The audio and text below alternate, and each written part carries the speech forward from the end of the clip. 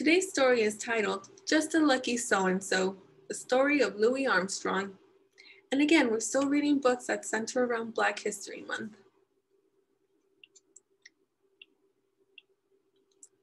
In New Orleans, Louisiana, in a part of town outside of Storyville, tucked in a corner called Back o' Town, in a section nicknamed the Battlefield, little Louis Armstrong was born, black and poor and lucky.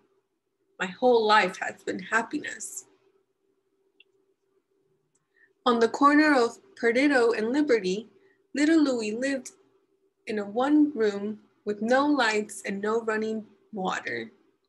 But it was home to him and his sister, Mama Lucy, and his mama, Mayann.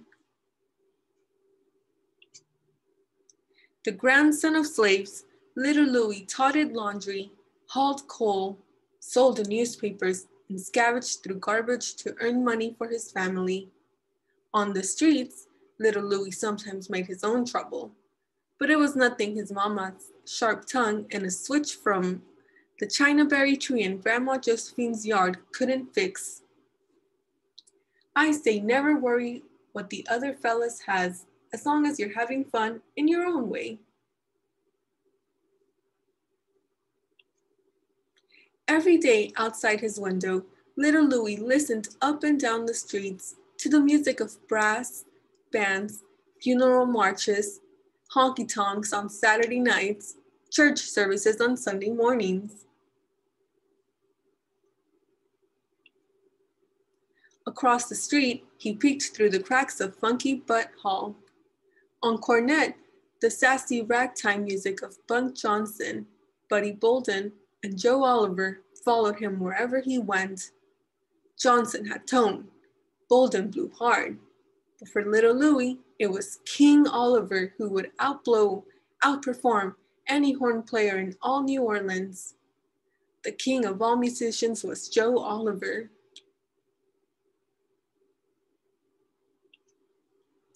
School learning at the Fisk School for Boys began for little Louis at seven. Before school and after, on the Karnofsky's wagon next to Morris, little Louis totted a tin horn, penny for your rags, and bleated, nickel for your scraps. Although I could not play a good tune, Morris applauded me just the same. Through the window of a pawn shop, a cornet caught Louis's eye. A $5 loan from Morris bought the cornet for Louis. Some brass polish and oil brought the horn to life. Down Rampart Street, four boys harmonized My Brazilian Beauty, Little Mac on drums, Big Nose Sydney on bass, Redhead Happy Bolton on baritone, and the gravely tenor of Little Louis. The boy with the smile so wide, open kids called him Satchel Mouth.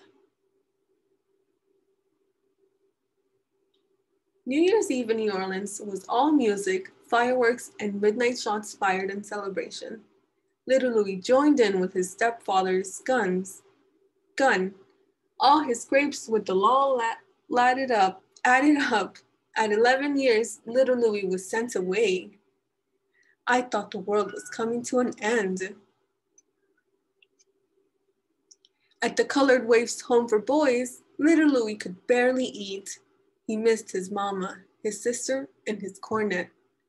Through his open window, windows drifted the call of the bugle, a bugle to rise, a bugle for chores, a bugle for bed. The band leader, Mr. Davis, told little Louis that boys from the battlefield don't belong in a band. Little Louis sang solos for everyone to hear. Mr. Davis listened and started and started Louis with the tambourine. Then he played the drums. Mr. Davis made him the bugler. Then he put him on the cornet. Mr. Davis made him the band leader. Me and music got married at home.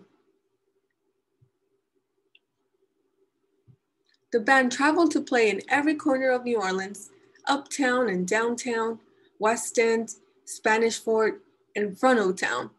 But for little Louis, there was nothing like walking through his old neighborhood at the head of the band blowing Home Sweet Home.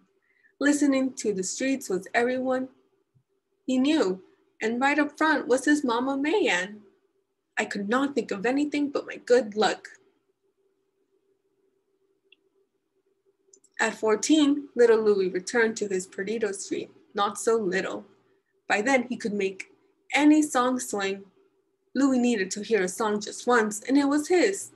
He worked all day hauling coal and all night playing in honky tonks around town. Louis met Joe as Joe paraded through town with the Onward Brass Band and followed him everywhere. Louis ran Joe's errands, carried his horn, but in between times, Joe taught Louis note by note. In Joe's home, Louis filled, filled up on rice and beans and music lessons.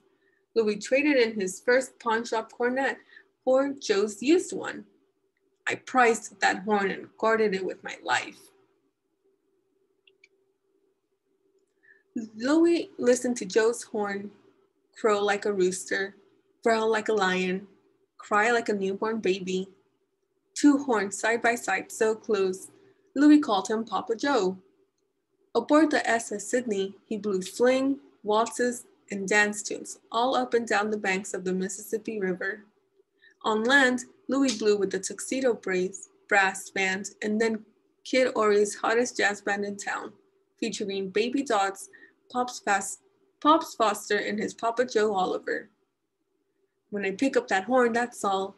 The world's behind me, and I don't concentrate on nothing but it. I love them notes. After a time, New Orleans talking tonks weren't too small for the king. Joe hopped on a were too small for the king. Joe hopped a train and blew goodbye to New Orleans. Chicago was waiting. Louis stepped in where Joe stepped out. His horn had folks talking about the little boy from the battlefield.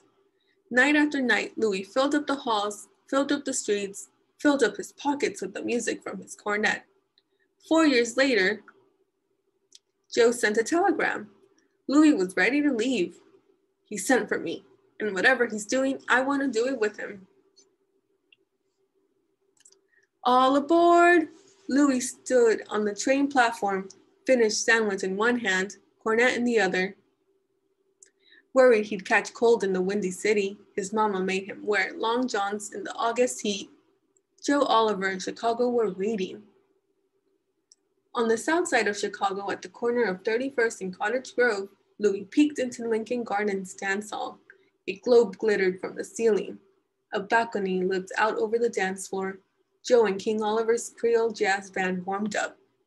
I'd never seen a city that big. Opening night always makes you feel as though little butterflies were running around in your stomach.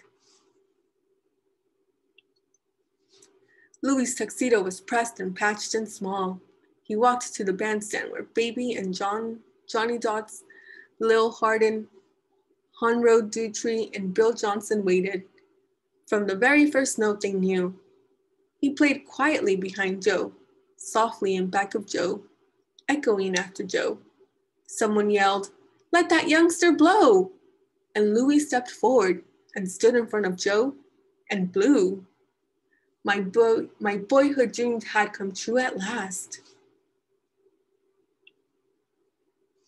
Louis stood in front of bands in Chicago, New York, California, and Europe, on records in Hollywood, on Broadway, and on the radio. The little boy from New Orleans, Louisiana, from a part of town outside of Storyville, in a corner called Tobacco Town, in a section nicknamed the Battlefield, was just a lucky so and so I was so happy. I did not know what to do. I had hit the big game, the big time. The end.